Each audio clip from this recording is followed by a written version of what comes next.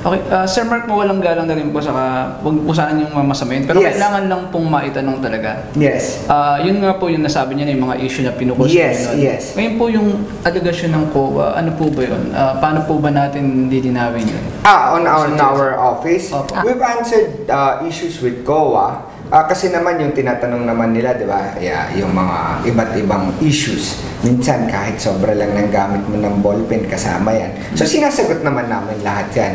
And uh, yung mga issues, ang, ang importante, wala ko kaming corruption na ginawa. It's just a matter of clarification, clarificatory with the COA. Kasi always ganun po yung process eh. Bibigyan kanila ng audit observation, di ba? So, and then we reply. Then uh, we justify kung bakit. And everything is above the board naman sa amin, approved by the board before we implement it. Kasi we cannot we cannot uh, pursue or we cannot implement something na hindi na approve Walang ng board namin. So everybody, everything is across the board.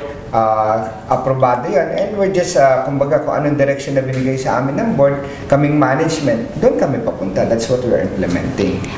Para klaro lang din po sa Pepsters, ang sabi po kasi dun sa COA report, Yeah. um, isa sa mga allegation na or findings nila is that merong mga um, pag-lease ng mga office buildings and na over budget tas yung mga um, employees. Ghost employees daw. May mga Ah, I don't know with yung ghost employees kasi wala yun, definitely wala. Kasi what we do is uh, we hire JOs, yung ginagamit namin sa mga airports as a travel tax uh, counter namin, di ba? So sila yung mga tao. But since itong uh, reorganization namin at saka yung uh, pag uh, pag uh, namin yung online namin with credit cards and everything. So nabawasan kami ng tao. Kasi ang problema namin um, konti yung nasa plantilla namin. Hindi namin pwedeng uh, yun lang ang asahan namin. And this is a 24-hour job. So, kailangan namin ng mga ibang shifting kami. I, I hope yung ibang nagtatrabaho on the shifting side, alam nila yon So, but on the JO, mukhang wala namang ghost employee sa amin. And when it comes to our building, that's a, the building, the controversial building na pinalipat kami. Uh, kasi, before, we were in Calao. That's the old building, the Agrifina building, uh, the old one, together with the Department of Tourism. So ngayon, we were we were asked, we were directed to move out kasi National Museum owns the building and gusto na niyang gawing museum yung building namin. So in short, pinaalis kami kasi squatter kami doon.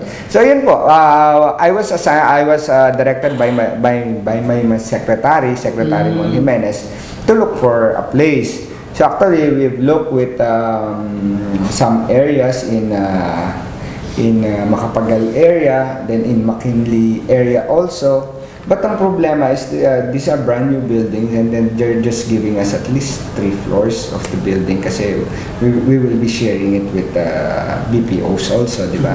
Eh, we're holding cash. So yun ang ayaw namin. So itong building na nakita namin, it's a 10 floor building na kami lang.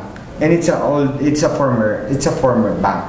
So may mga tellers kami sa baba, may tellers na sa baba, may vault na rin siya. So yun ang inano namin. So ang iniisip nila kasi, because it's in Makati, if you're going to look at it kasi, mas mahal pa nga yung building, both kami. Ah, ang sabi ng secretary ko, we should be in in the Makati district. Kasi nga, doon yung center for investment and everything, yun ang kinikater namin.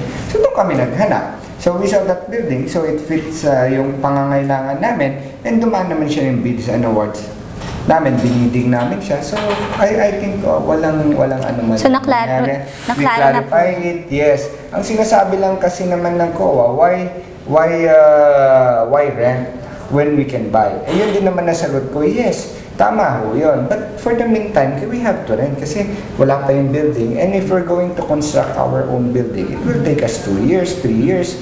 And ngayon, wala pang approval ng board on whether we're going to put up a new building and where. Kasi wala pa tayong lupa.